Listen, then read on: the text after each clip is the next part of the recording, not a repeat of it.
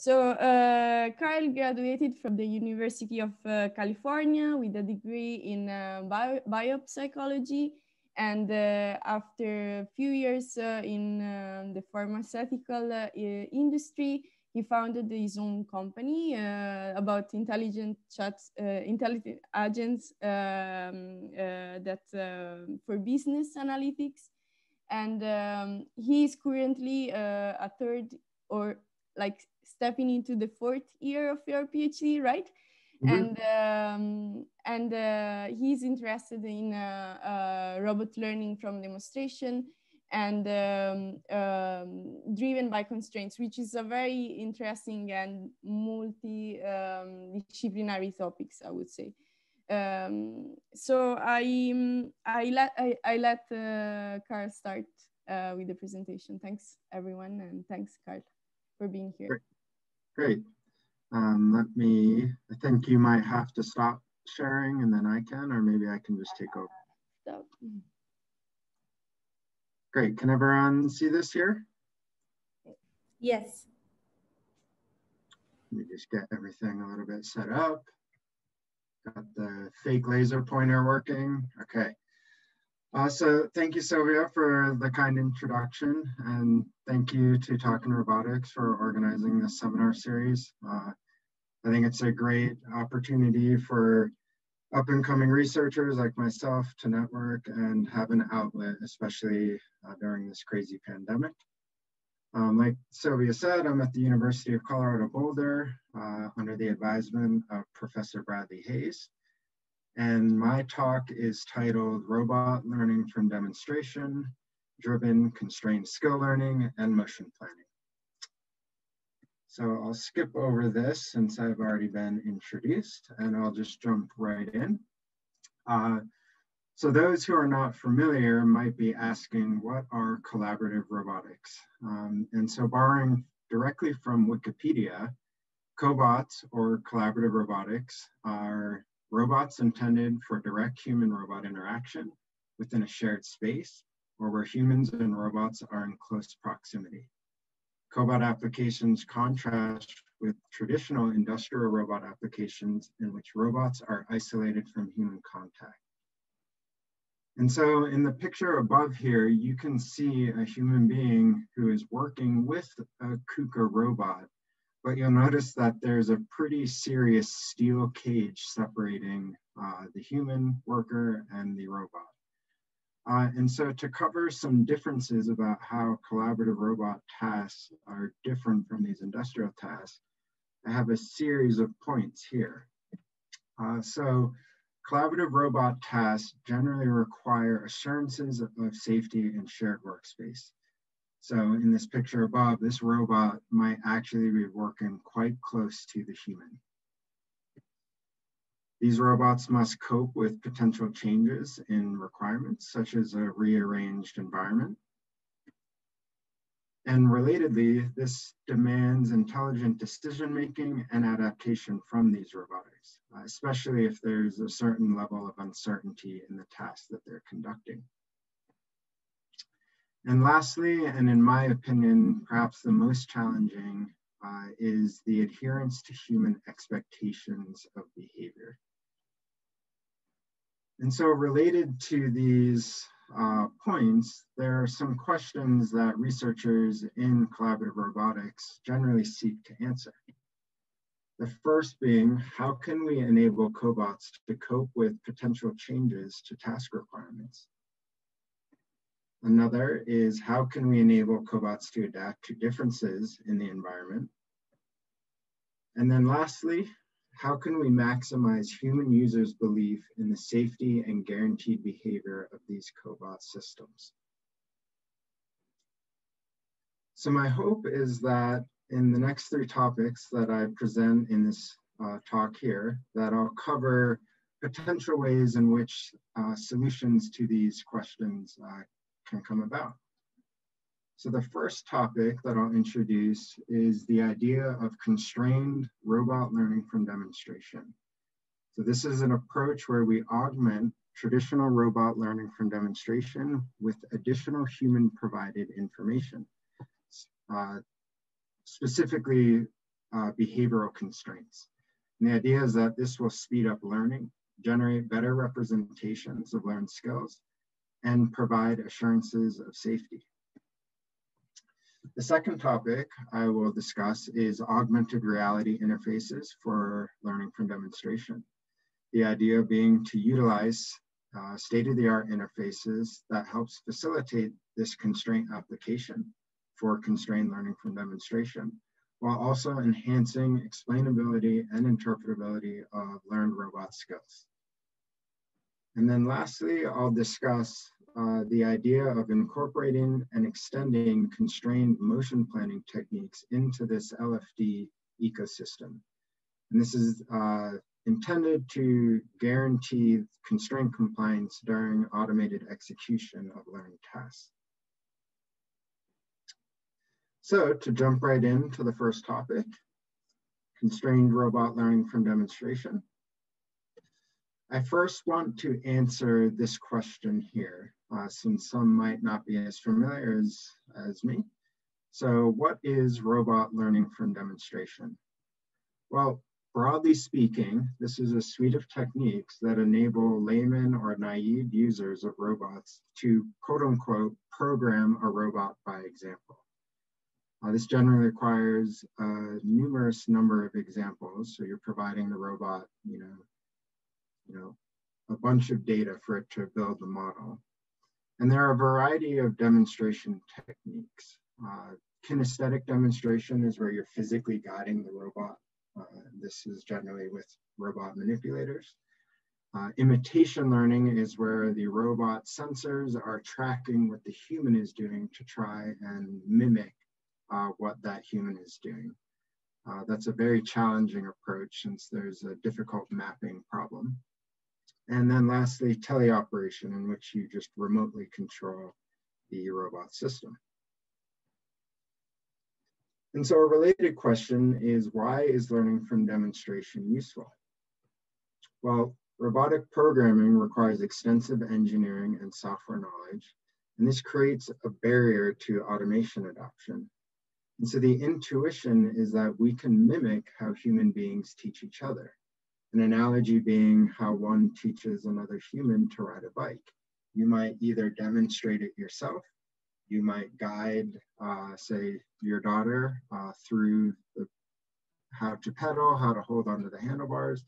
Uh, and so you're trying to transfer your knowledge and expertise to another person uh, through some mode of demonstration. And so in robotic learning from demonstration, there's often a general pipeline that is followed. So the first step is that you capture a set of demonstration trajectories. And if the model requires it, you need to perform some sort of alignment between trajectories. This is important because it allows you to relate uh, portions of one trajectory to a related segment or point uh, in another trajectory. So those regions of each of those trajectories might uh, correspond to the same portion of the task that you're demonstrating. And then lastly, you generate some sort of learned model.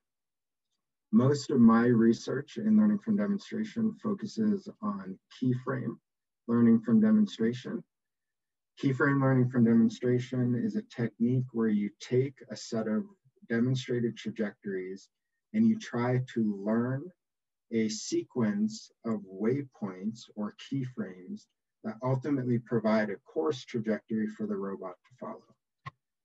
Keyframing can be a situation where the user actually just indicates the waypoints for the robot to follow.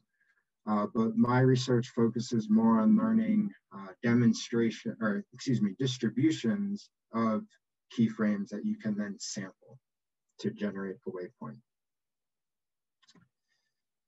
So when I first started jumping into learning from demonstration, I asked myself, well, what is wrong with this pipeline? And traditional methods of demonstration have a low overhead uh, and provide a pre precise instantiation. Uh, but this has limited information bandwidth. And what I mean by that is whenever you demonstrate a to a robot how to conduct a task, you're really only showing one very precise way of how to carry out that task. And implied constraints, such as a cup has to remain upright and maybe a carrying task, uh, is generally drawn from common sense, which your robot does not have. And so this idea of perhaps common sense from demonstration might require a prohibitively large number of demonstrations, which you probably don't have time for and you probably still shouldn't trust.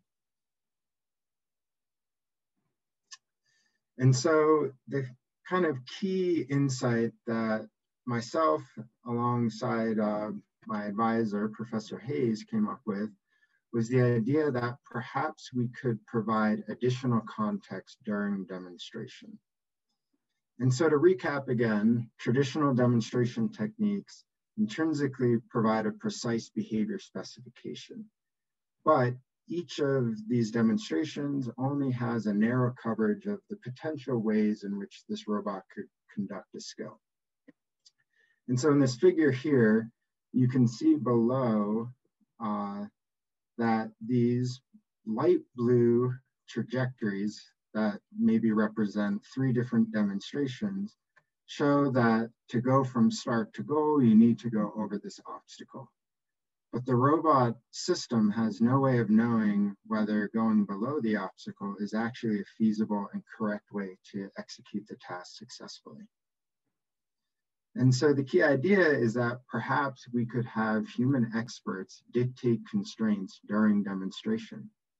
Such constraints could be capable of encoding more abstract context, and they might open up different modalities of information communication, an example being narration.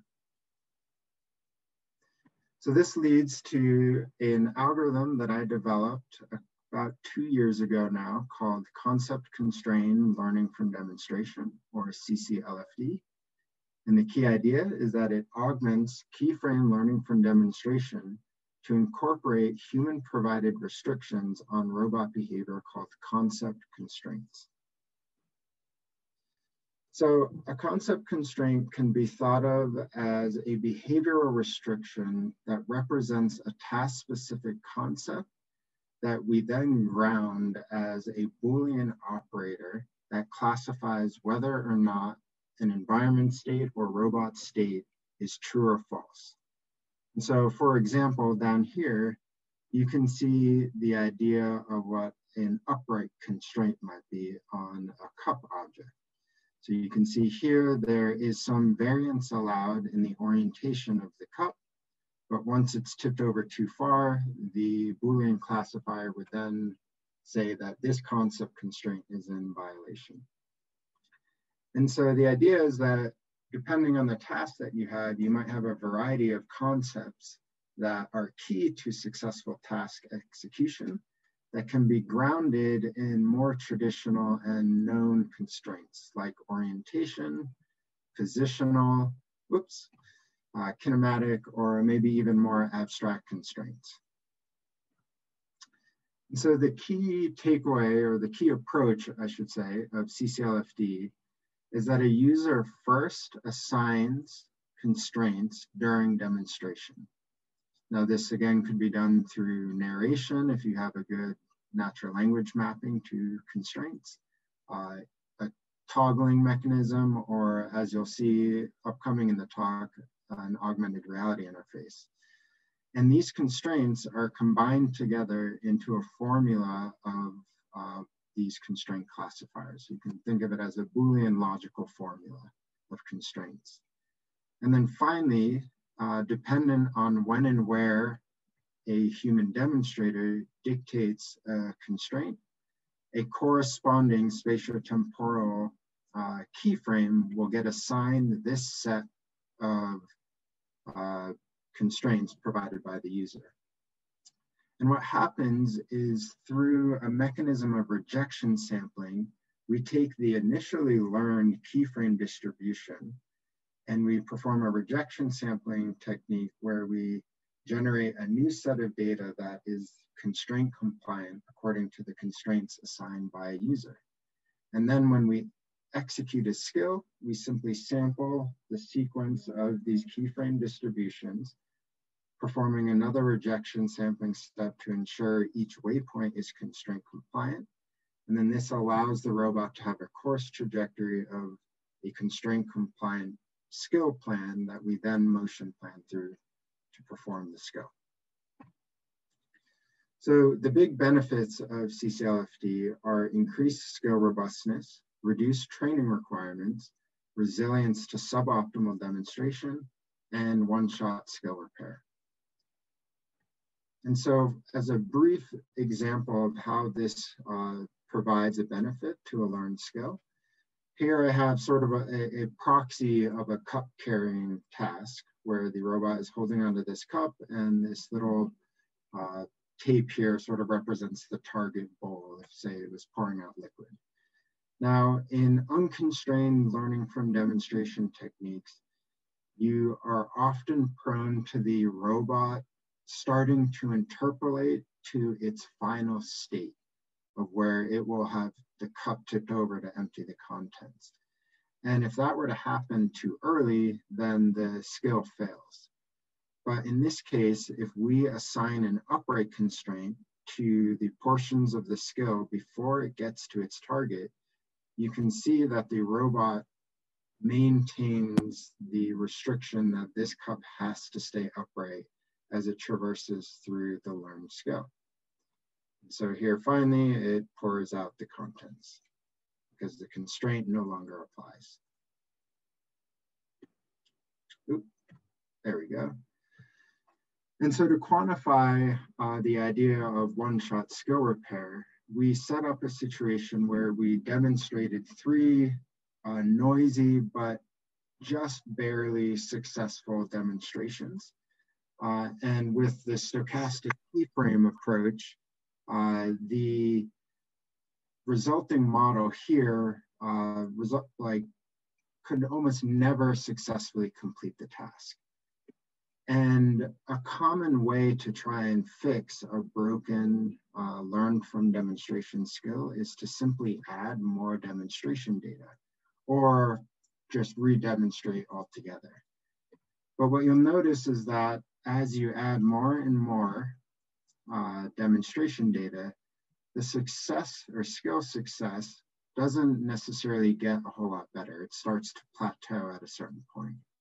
The intuition behind this is that these initial poor demonstrations have sort of infected the data so that any one keyframe might sample a point that is drawn from the contribution that these poor demonstrations provide to the distribution. And that sample or that waypoint might result in skill failure. But with just one constrained demonstration that say for the pouring task has this upright constraint, uh, we can fix the skill with just a single demonstration and dramatically increase the likelihood of skill success. And so the idea or the intuition again is that these constraints are representing concepts that are essential for the task to be completed successfully. So for those of you who have experience with learning from demonstration, and especially kinesthetic demonstration, uh, de demonstration is, is hard. It's not an easy thing to do necessarily.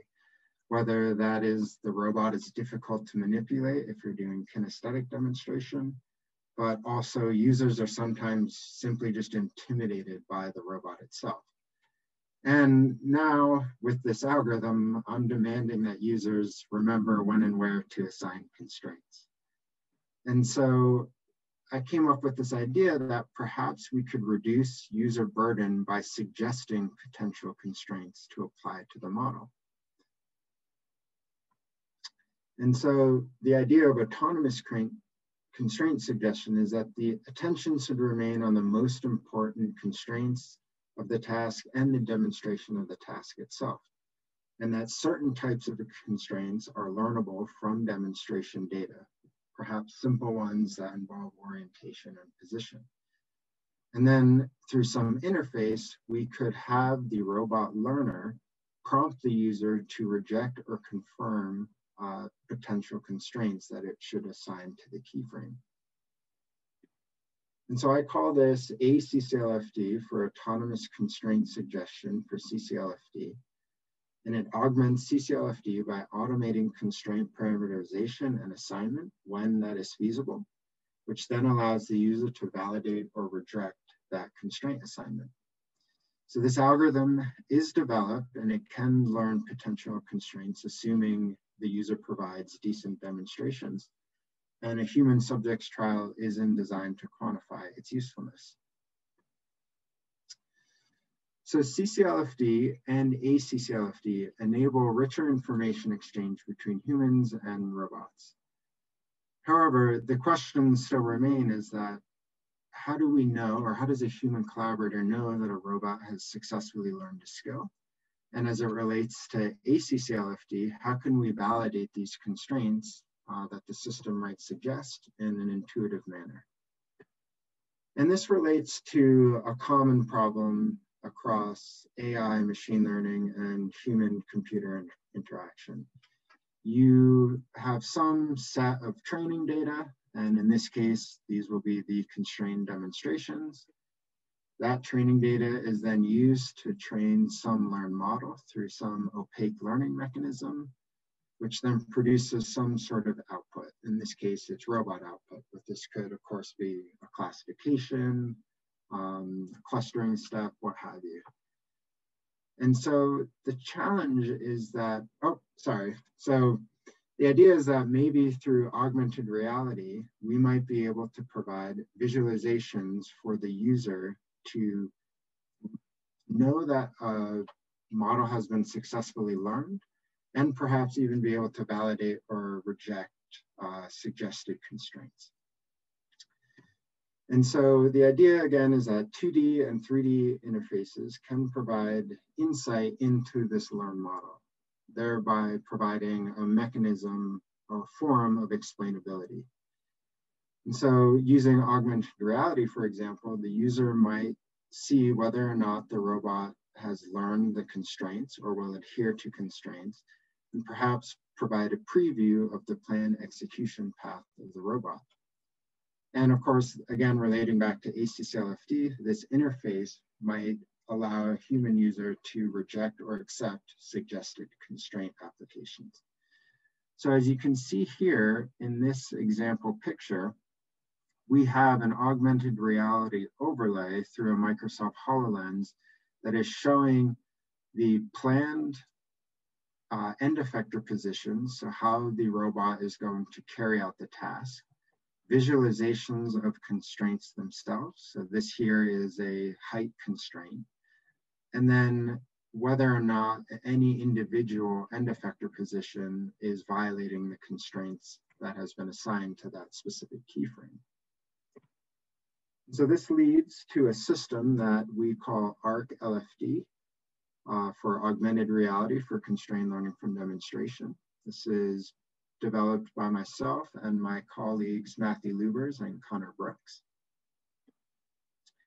And so again, ARC LFD is an augmented reality system built upon CCLFD and the Microsoft HoloLens SDK for producing visualizations of learned robot skills and constraints. This system supports this iterative process to verify, repair, and edit existing skills using augmented reality by, again, visualizing constraints, uh, providing users editing menus, and seeing, again, how the robot is going to execute a skill. And so this graph here uh, shows the interaction flow diagram uh, of the ARC LFD system. A user will provide a set of demonstration trajectories that may or may not include constraints, which produces an initial keyframe model.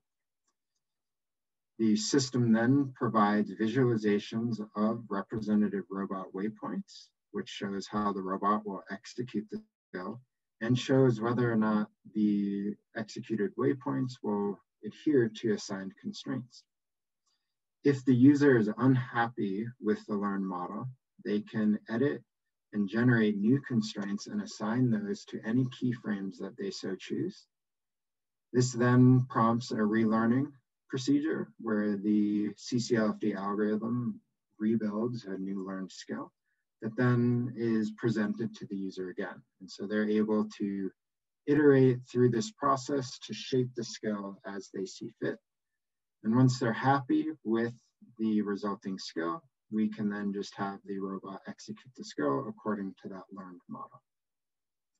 And so the broad idea behind this system was to provide a way to let human operators intuit the learned model of the CCLFD algorithm, as well as a mode of interaction to both assign constraints and reject constraints as well through the ACCLFD setup.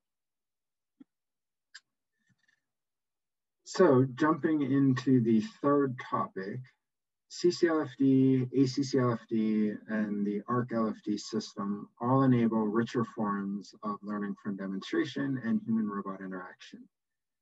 But these implementations and most LFD algorithms rely on unconstrained motion planners or simplistic interpolation methods to move through these waypoints. CCLFD demands that motion plans between keyframes maintain constraint adherence. And so this leads to the idea of integrating constrained motion planning into learning from demonstration. So as a quick preliminary, I'm gonna do my best to describe what exactly is a constraint manifold and then lead into how that relates to constrained motion planning. So a manifold is a topological space with the property that each point on the manifold has a neighborhood that is homeomorphic to Euclidean space of dimension n. So in one way you can think of that is that at any point along the surface of this topological manifold, you can think of it as being locally Euclidean. And manifolds can represent restrictions of an agent slash robot configuration, assuming that you have a system of constraints that evaluates those states for adherence. So in other words, you can think of a constraint manifold as the set of robot configurations or environment states of the all the feasible robot states or environment states such that those states meet some sort of constraint criteria. So as a visual example here, you can see that the constraint on this 2D three degree of freedom manipulator is to maintain contact with this line.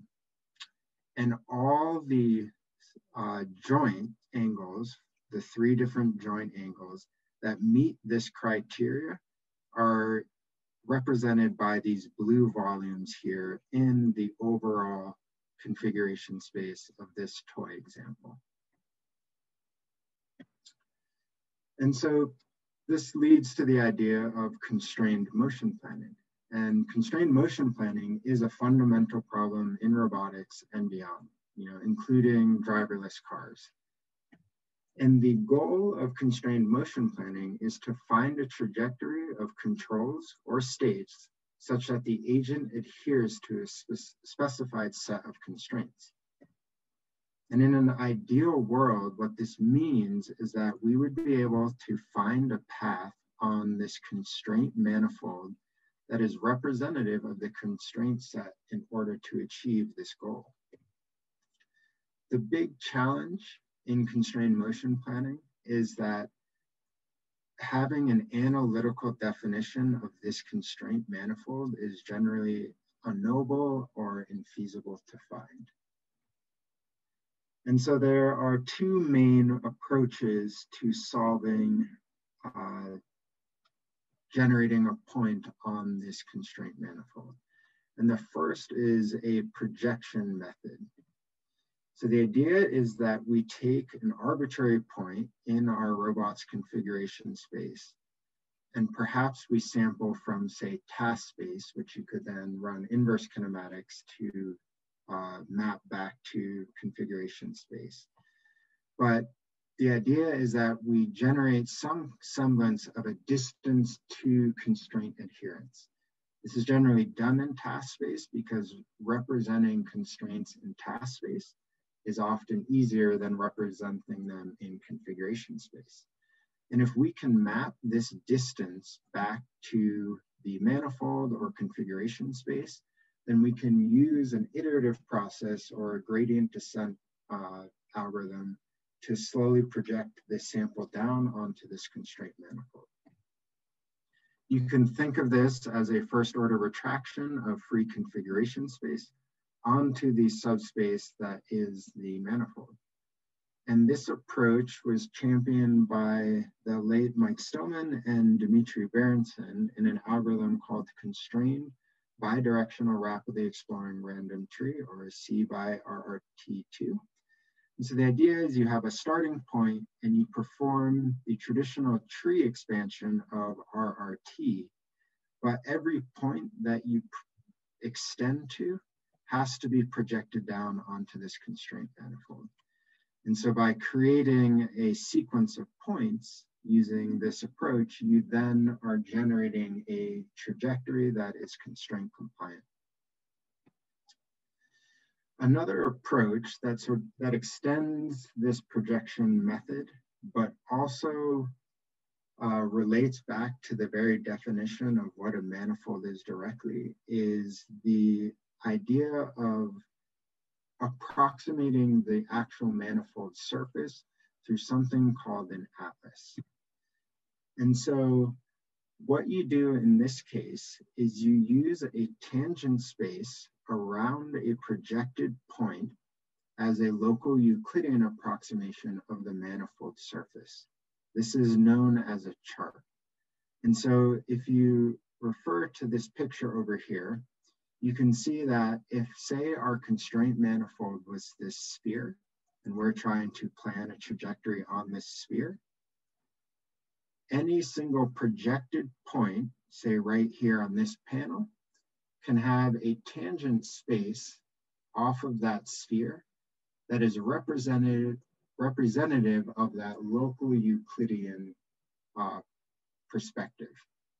And the collection of all of these charts constitutes what is called an atlas. And if you can generate enough of these charts, then you start to generate a full approximation of the manifold surface itself. The advantage to this is that rather than sampling individual points, once you have a good enough coverage of your manifold, you can then perform traditional sampling techniques where now instead you are sampling these tangent spaces, which allows you to much easily or much more easily sample points from that tangent space as opposed to projecting down every single point. And so this approach uh, is called Atlas RRT, developed by Leonard Jaillet and Joseph Porta. And so as this relates to CCLFD, again, we want to be able to have the robot motion plan from keyframe to keyframe while adhering to a set of constraints. And so these methods might enable uh, CCLFD to do so. But likewise, we can also think of CCLFD as serving as like a model for a motion planning problem that has changing constraint sets. So most of these techniques uh, for constrained motion planning only think of a single set of constraints that applies to the start and end of your planning problem. But in a keyframe model, there's multiple different waypoints that this robot might be traversing through. And along that traversal, the constraints themselves might be changing. And so I propose that we can think of the CCLFD keyframe model as now a planning graph itself. And what we do is we sample starting and ending points from keyframes as the nodes of this planning graph. And the edges between these points will hold on to the trajectory distributions to bias sampling and also be used to determine which constraints have to apply for that particular segment. And then this allows us to traverse from node to node uh, using these constrained motion planning techniques uh, for guaranteed constraints compliant uh, trajectory execution across the entire skill execution. And so some of the benefits of this approach are that users can adjust constraints, which only requires specific edge replanning and not start to end replanning. So if a user were to say, you know, the end effector should instead now maintain this orientation, perhaps through the ARC LFD editing interface, then we would only need to replan between these constraint keyframes and these here. This also allows us to sparsify our keyframe representation and perhaps only consider just modeling keyframes as these constraint transition boundaries. What this allows us to do is perhaps insert collision objects or changes in the environment that the robot can utilize a constrained motion planner to still maintain constraint compliance. And then lastly, uh, this planning graph and the resulting generated trajectories can act as a precursor for training some of the more recent and advanced learning-based planners by successfully generating ground truth data for changing constraint set planning problems. You can think of this as a planning problem that has implicit rheonomic constraints. Rheonomic constraints are constraints that have some dependency on time. And in this case, these constraints might be conditioned to have some sort of on-off step function about when constraints apply during skill execution. And so my hope throughout this talk is that I gave you an idea of how constrained learning from demonstration enables a richer mechanism to build better representative skills that adhere to these high level requirements as concept constraints that the user might assign to a model. The idea behind augmented reality interfaces is that we can then enhance the explainability and interpretability of learned robot skills and also facilitate constraint application. And then I hope that I illuminated how constrained motion planning is essential for CCLFD to be successful, but also in turn show that representing a planning problem using the CCLFD model also helps benefit constrained motion planning. And that is the end of my talk. So I am certainly welcome for the upcoming discussion. And thank you very much. Thank you, Carl. So how did, how did I do on timing? no, it was it was great. Uh, we have a little time, but uh, I uh, remind to everyone that we have a Slack channel. And uh, if you, Carl, want to join, uh, you can also click on the link that uh, has been shared before. I can share it again here. Yes, exactly. Thanks, Miguel. Uh, so that we can continue discuss about uh, your presentation because it was really dense uh, and you really did a lot of work on different uh, things. I mean, they are all uh, connected and mm -hmm. I can see the, the fil rouge among, and you made us understand what was the, the process and that was really interesting because I think even someone that uh, is not uh, into this topic uh, had the possibility to um, understand a little more and to, to follow the presentation. That, that's something that uh, um, that's great. Um, awesome. Yes, um, but but yes, I think we have a little time. So uh, if you have question, please ask. Uh, do you have any question? Um, I'm jumping into the Slack channel, so hopefully, uh, and so which, uh, no, but now the question uh, will be live. Like uh, we have 10 minutes uh, for, for live questions. So if you ah. uh, have any question, I'm asking to the participant now. Please feel free to ask. Don't be shy. You can also write on chat and uh, we can also ask uh, for you.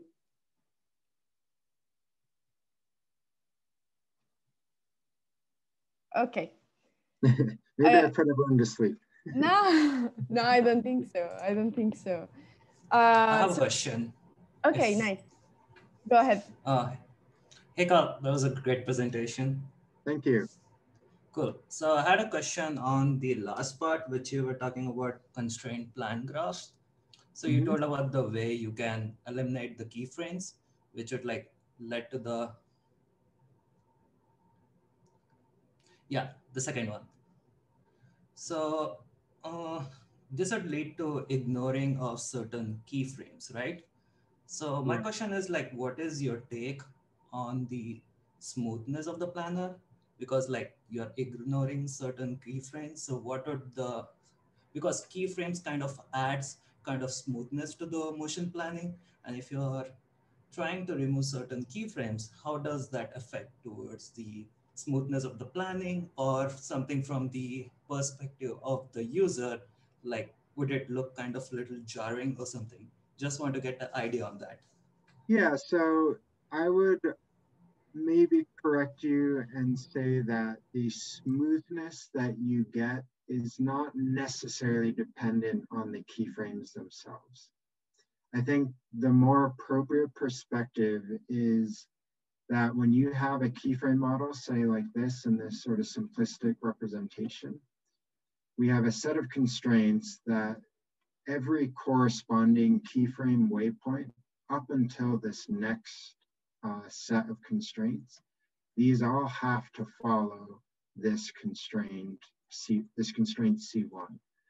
And what the intermediate keyframes, their real purpose um, is, yes, it sort of gives a, a coarse trajectory for the robot to traverse.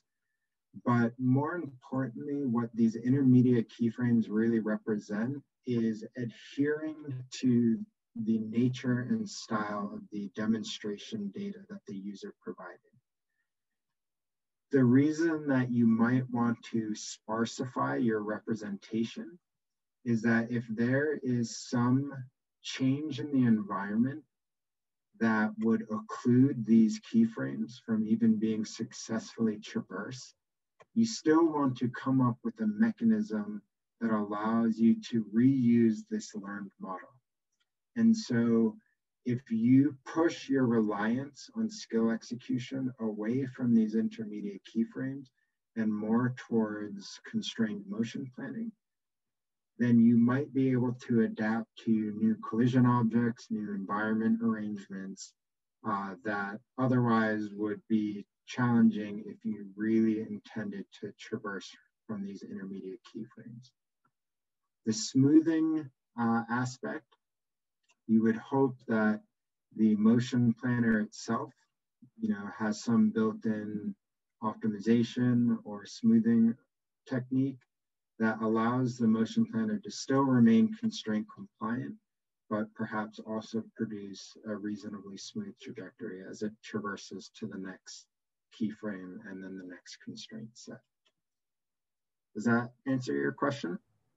Yeah, just to refrain. So basically what you're saying is removing keyframes does not affect the smoothness, but it will add uh, flexibility and robustness because you have options to do many other things. Exactly. And so, you know, if the user decides that, you know, there isn't really a change to the environment and that they really want, whoops, they really want the robot to adhere to the original style of the demonstrated skill, then you can retain these keyframes. If you only really care to have the skill representation that is considering these constraints, and you're less concerned about the exact manner by which the robot carries out the task, then you can sparsify this model and still retain successful skill execution because these constraints are providing a much richer context for the robot to execute upon. Great, thank you for the answer. Cool. So now we have a question from Mattia. Hi, can you hear me? I can. Awesome. Uh, thank you for the talk, really cle crystal clear. My question is on the constraints for the first paper that you presented. Yeah. So the the user can, let's say, narrate constraints or add them in uh, with different modalities uh, on top of the demonstration they provides. Yeah. How are these constraints uh, known to the robot? Are they like beforehand, like okay, we are gonna we are we are gonna need, for example, uh, a keep orientation fixed constraint and uh, another constraint, let's say, stay away from um, the table constraint. So how, how are these constraints inserted in the in the in the learning process? And uh, yeah, let's let's start with this. No, that's a great question. So let me jump to, I have some extra slides here. and so this like sort of outlines the procedure more in detail of the CCLFD mm-hmm. algorithm. But as it relates specifically to your question, constraints are the, they're like a set of classifiers that I've programmed and built myself but that can be parameterized uh, during demonstration or again using the ARC LFD interface. And so the idea of like, just to give an example of an orientation constraint, specifically say for an upright constraint. The way that I've constructed that is that there is some sort of ideal vector of mm-hmm. orientation that represents like perfect uprightedness, so to speak. And then I allow for a parameterizable cone around that mm-hmm. vector that within which, you know, upright is valid. And if it deviates outside of that, you know, the angle of deviation uh, is outside of that cone, then it's rejected. And so these constraints right now are you could think of them as being partially hand engineered, but through, say, a narrative interface or an augmented reality interface, those partially hand engineered constraints can be parameterized by a human user. And then that human user then decides when and where on a demonstration or post hoc, say with ARC LFD, they can mm-hmm. assign those constraints onto a sort of naive, constraint naive uh, keyframe model. Does that help answer your yeah, question? it answers my question. Yes, thanks a lot. You can go, Kim. Oh, hi. Um, thanks, Carl, for this uh, really interesting talk. Um, I've been thinking a lot recently about how you know humans can give richer demonstrations to robots, and certainly you know in the context of um, safety, I think the idea of constraints is is very attractive and makes a lot of sense. Um, my question is, you know, in cases where you don't really care about hard constraints, um, but you care maybe about a softer version of these constraints, such mm-hmm. as you have a preference for something as opposed to you really want to make sure um, a specific configuration of the arm is not reached or some other form of hard constraint. So is there a way you could extend your framework to maybe a more general formulation that would take maybe a modified cost function or some other representation of um, maybe penalizing certain areas of the of the manifolds as opposed to uh, making this a constrained optimization problem? So the big challenge um, with at least the current setup of these constrained motion planners is that they all generally utilize this algorithm right here. because in some way or another, you need to either be able to project every point that you sample down onto this manifold to be constraint compliant, or you need to get one projected point and then use this you know, atlas-based approximation technique. The big challenge with these approaches is that, again, because in configuration space, you don't really know which distance metric to use and therefore how far away you are from being on this constraint manifold. And therefore you would struggle to use any sort of gradient descent techniques. What these approaches do is they generate uh, some sort of displacement from a constraint by taking a sample and like the set of uh, constraint requirements and you and think of that sample as being in what is called task space. So you know in a configuration space you have this seven dimensional vector that represents a robot joint but a task space might just be like x y z position of the end effector and its roll pitch yaw orientation. And that allows you to get a displacement or distance from task space that you then uh, project back onto uh, the configuration space. So you try to map this error, this constraint distance error, into configuration space. And so kind of relating to your question, the, one of the big challenges is finding an appropriate way to express, oops, excuse me, um, how far away you are from a constraint. One approach that I've thought of to soften up the re constraint requirements is to use some sort of Pareto optimization, where instead of strictly adhering to being on a constraint manifold, you try to be on like the Pareto optimal front of maybe a system of constraint objectives uh, but that might not give you the guarantees that this method produces. But I, again, the trade-off is that maybe you can be more expressive than you can with the limitations imposed by this sort of distance requirement. Does that sort of help illuminate your question? Yeah, I guess my question, I, I guess, yeah, I guess my question is like when you know humans start using this uh, type of system and they go crazy with their constraints and it, it would just result in infeasible motions. Uh, we would still want a way to accommodate maybe maybe a ranking on the constraints where like some constraints are more important, others would be kind of the first step to go. But I can kind of imagine this scenario where the human wants so many things that the robot will just say, well, sorry, I can't do it. And then that's it, totally. right? Like the interaction ends. Totally. Um, so and, yeah, this is where my question is coming from. Right, and like that's sort of why I've been looking at like per, you know Pareto optimization for constraint adherence because you could like one of the examples that I use is like the rescue robot, right? And you know maybe it, you send this into a building on fire, you know, however many years into the future that this is actually feasible, and the idea is that, of course, this robot is going to have a constraint that says you are not supposed to go into fire or you want to limit that as much as possible. But at the same time, you might have an objective uh, that says like you need to rescue as many people as you can.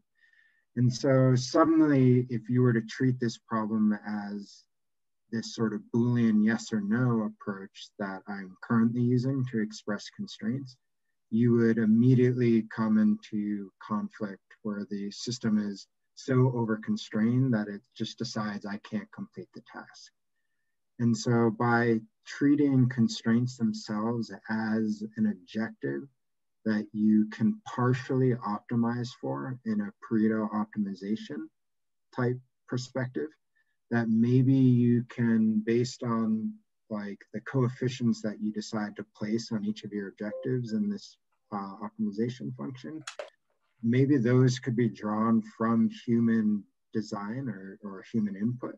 And then this gives a mechanism for the robot to decide how much risk it poses to itself based on some soft constraint in order to be able to complete this task. Um, and that's something that I, I hope that I have time to in the next year or two to, to address or, you know, maybe after I graduate. Okay. Uh, so thank you, Carl, again, and thank you, uh, everyone. I will uh, share one um, um, one last slide uh, to introduce the next uh, speaker, and then I um, ask everyone to join the, the Slack channel because there are other questions coming. So it's the discussion will continue there. Great. Okay. Mm. Uh, no, this is not what I want. Okay, nice. So our next session will be with Glenda Hannibal from uh, Vienna University of Technology, and uh, she will uh, um, discuss trust in human-robot interaction. So I hope to see you all, and thank you again, everyone, for joining this session.